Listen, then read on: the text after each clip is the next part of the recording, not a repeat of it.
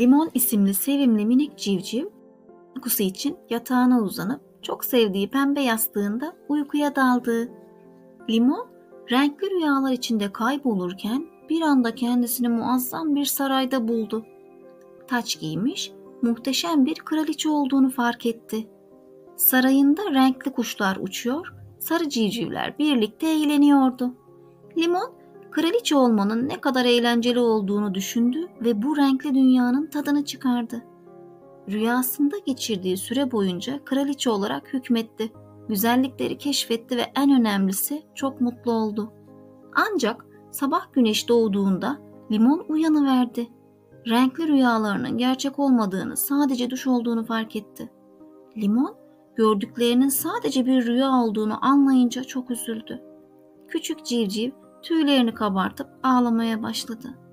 Bu üzüntüyü gören anne tavuk hemen yanına gidip sevgi dolu bir şekilde limona sarıldı. Üzülme sarı civcivim. Gerçek olan tek şey her zaman senin yanında olacağım ve seni daima çok seveceğim dedi. Limon annesinin sıcaklığı ve sevgisiyle rahatladı. Annesi ona gerçek dünyanın ne kadar özel olduğunu ve rüyaların sadece birer oyun alanı olduğunu anlattı. Limon annesinin sözlerini dinleyip hüzün yerine sevgiyle dolup annesine sarıldı. Her günün bir hikayesi olduğunu anlayan Limon, gerçek dünyanın güzelliklerini fark etmeye başladı. Her anın kıymetli olduğunu ve annesinin sevgisinin en değerli hazinesi olduğunu anladı. Limon bu deneyimle büyüyüp hayatın güzelliklerini keşfetmeye devam etti ve her gece gerçek dünyada geçirdiği günün hayallerini kurarak mutlu bir şekilde uykuya daldı.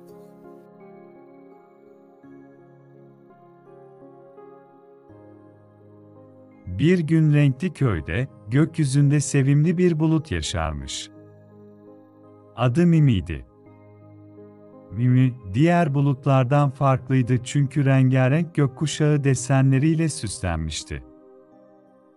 Her sabah, Mimi güneşin doğuşuyla birlikte uyanır ve renkli köyü ziyaret etmek için yola çıkardı. Renkli köy, adından da anlaşılacağı gibi renklerle dolu bir yerdi. Her ev farklı bir renkteydi ve sokaklarda cıvıl cıvıl renklerle süslenmiş çiçekler açardı. Ümi, renkli köyün üzerinde uçarken, çocukların neşeli kahkahalarını duyar ve merakla aşağıya doğru bakardı. Bir gün, Mimi karar verdi ki, renkli köydeki çocuklarla tanışmak istiyordu. Büyük bir gülümsemeyle köyün üzerine doğru indi. Çocuklar, renkli kıyafetleriyle etrafa neşe saçıyorlardı. Ümi, çocuklara selam verdi ve onlara eşlik etmek için yanlarına katıldı. Mimi, çocuklara bulutların neden yağmur yağdığını ve gökkuşaklar nasıl oluştuğunu anlattı. Çocuklar büyük bir ilgiyle dinlediler. Mimi, eğlenceli bulut oyunları da önerdi. Örneğin, bulut şekillerini bulma oyunu veya renkli yağmur damlalarıyla dans etme oyunu, renkli köydeki çocuklar ve Mimi, birlikte eğlenceli zaman geçirdiler. Mimi, çocuklara doğanın güzelliklerini ve renkleriyle dolu dünyanın ne kadar özel olduğunu öğretti. Her gün, Mimi renkli köyü ziyaret edip çocuklarla oyunlar oynadı ve renkli maceralar yaşadı.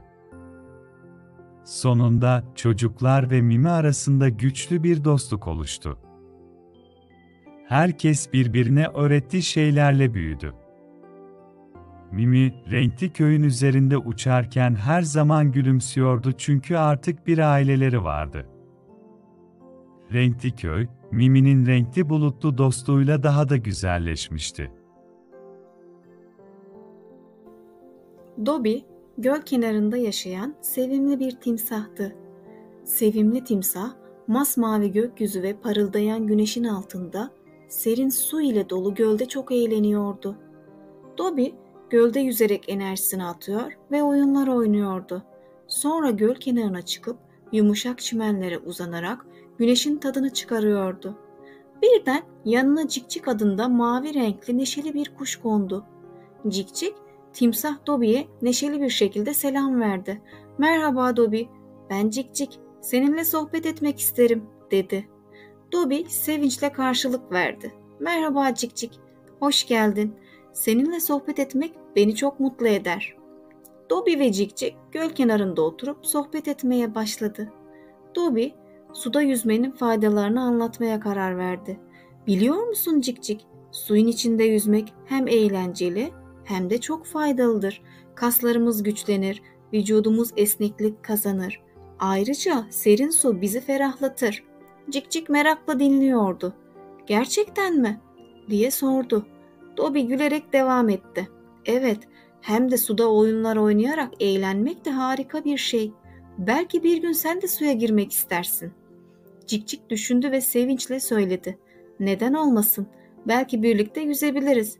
İki arkadaş gülen yüzleriyle birlik birbirlerine baktılar. Sonra Dobby göl kenarında okuduğu kitabını gösterdi. Ayrıca Cikcik, kitap okumak da çok keyifli bir aktivite. Hem eğleniriz hem de yeni şeyler öğreniriz. Cikcik heyecanla konuştu. Evet, ben de kitap okumayı çok severim. Birlikte bir hikaye okuyabiliriz. İki arkadaş kitap okuyarak ve sohbet ederek keyifli zaman geçirdiler. Gün boyunca eğlendiler. Yeni bilgiler öğrendiler ve en önemlisi harika bir arkadaşlık kurmuş oldular. Sevimli timsah Dobby ve neşeli kuş Cikcik göl kenarında geçirdikleri bu harika günü unutamayacakları bir ana olarak kalbimizde bıraktılar. Bir gün Kaan evin salonunda yere uzanmış, heyecanla hikaye okuyordu.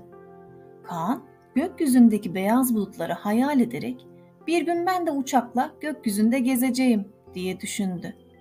Hikaye bittikten sonra Kaan'ın gözleri parladı ve hemen yanındaki masanın üstünden birkaç kağıt aldı. Hızla kıvırdığı kağıtlardan bir uçak yaptı. Minik kız kardeşi Ece de sessizce kanepede tatlı bir uykuya dalmıştı. Kaan'ın aklına oyuncak kutusu geldi ve hemen koşarak oyuncak kutusunu salonun ortasına getirdi. Bu sırada kanepede uyumaya devam eden Ece, abisinin oyuncak kutusunu getirdiğini duyunca uykusundan hemen uyanıverdi. Gözleri parlayarak Kaan'ın yanına koştu ve ben de oynamak istiyorum diye heyecanla bağırdı. Oyunları sırasında Kaan ve Ece birbirleriyle gülerken hayal güçlerini kullanarak birlikte eğlenceli bir dünya yarattılar. O günün sonunda ikisi yorgun ama mutlu bir şekilde birlikte oturdular. Kaan Ece'ye sarılarak bugün gerçekten harika zaman geçirdik değil mi? dedi. Ece gülerek evet abicim seninle oyun oynamak çok eğlenceli diye karşılık verdi. İkisi de birbirine sarılıp mutlu bir şekilde günü tamamladılar.